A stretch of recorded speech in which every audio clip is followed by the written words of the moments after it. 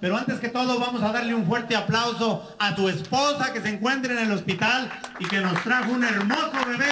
Digo que nos trajo porque es uno más que va a mirar la televisión y el show de Juan Contreras.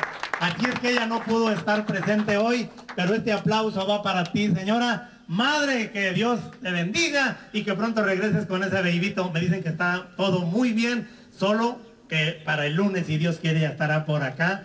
Pero agradeciéndole a nuestro buen amigazo Fermín Alvarado, así es.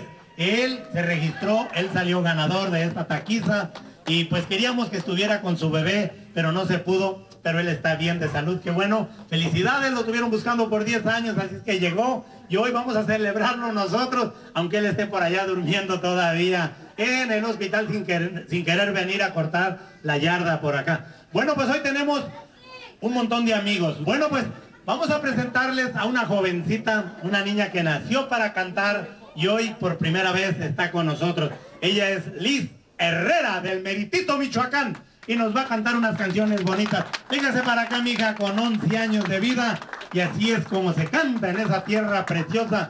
Ella, pues no decimos que eres nieta de las jilguerillas porque ellas nunca tuvieron familia. Así es que, nena, bienvenida, señora Josefina, a todos aquí presentes, Angélica. De verdad que estamos contentos a los camarógrafos. Y así arrancamos, mija. Los micrófonos son tuyos. Y te deseamos mucha suerte.